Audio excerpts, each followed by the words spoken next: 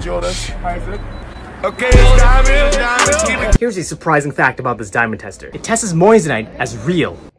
So if you wear chains iced out with moissanite gemstones and you get approached by a YouTuber with this diamond tester, you can confidently let the YouTuber test it and pass with flying colors.